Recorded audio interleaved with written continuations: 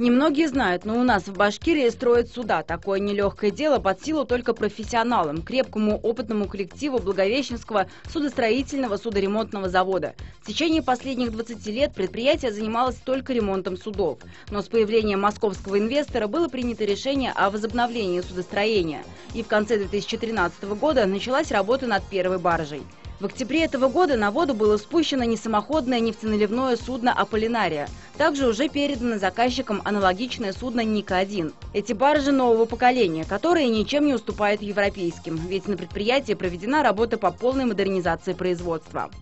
Две установки плазменной резки, Гефест и Искра.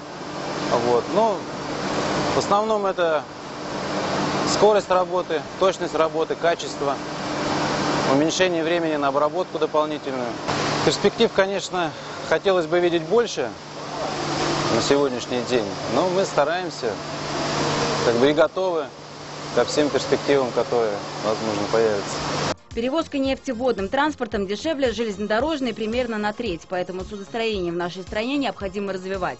Ника-1 и Аполлинария – это пример того, какими должны быть баржи, соответствующие международным требованиям. Всего на Благовещенском судостроительном судоремонтном заводе планируется построить пять подобных барж. Для того, чтобы строить такие суда, на предприятии проведена работа по модернизации производства. Закуплено новое оборудование на сумму более полутора миллионов долларов. Это станки для резки, обработки металла, компрессорное оборудование, оборудования, заменены сварочные аппараты, построена лакокрасочная камера. Их можно сравнить с космическим кораблем. Это абсолютно автономная единица со своей системой подогрева груза, дизель-генератором, подруливающим устройством, системами пожаротушения и вентиляции. С помощью грузовых насосов баржа самостоятельно закачивает и высвобождает груз. Предусмотрены двойные борта и двойное дно для предотвращения разлива нефтепродуктов.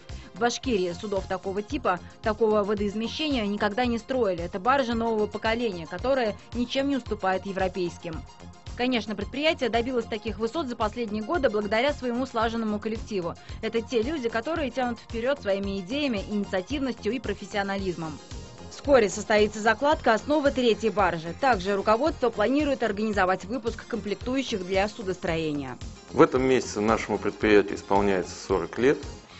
И в преддверии Нового года, и учитывая эту дату, я хотел бы поздравить всех работников нашего предприятия, с тем, что это предприятие есть, что оно является важным и очень интересным э, объектом как э, в нашем городе Благовещенске, так и во всей республике.